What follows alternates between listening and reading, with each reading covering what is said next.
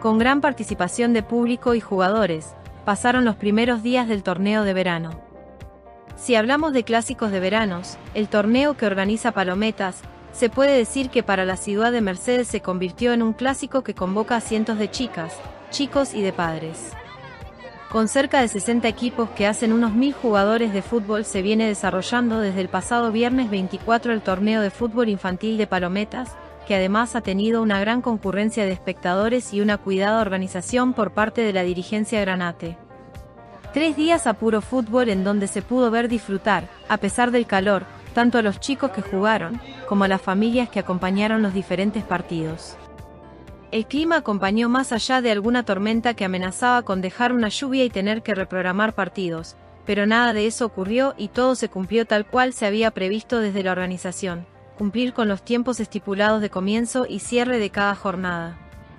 Conversando con dirigentes granates, destacaron la responsabilidad y compromiso de los clubes que colaboraron para acreditar con tiempo a los y las jugadoras, presentando las diferentes listas y documentos, requisito fundamental para lo que se tenía pensando en cuanto a los horarios de partido se pudiese cumplir.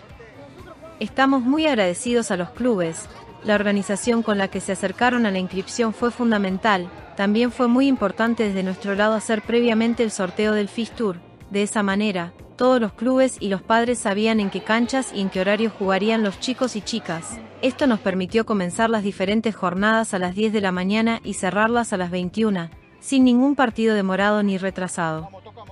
Quienes asistieron al predio de Palometas pudieron ver en una pantalla de 70 pulgadas los diferentes resultados al finalizar cada partido, algo que los propios jugadores le dieron mucha importancia porque seguían al detalle el desarrollo del torneo.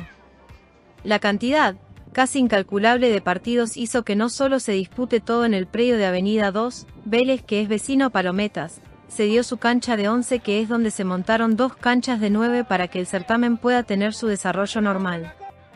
Las instancias finales se jugarán solo en el predio de Palometas. Desde la 2011, 2012, 2013, 2014 y 2015 para la rama masculina y sub-14 en fútbol femenino han jugado en algunos casos y lo seguirán haciendo Unión, Ateneo, Los Carteros, Palometas, Estudiantes, Quilmes, Talleres Pairó, Holanda, Independiente de Chivilcoy, Juventud, Club Mercedes, Vélez, Trocha, Defensores Juniors y San Luis de Jauregui.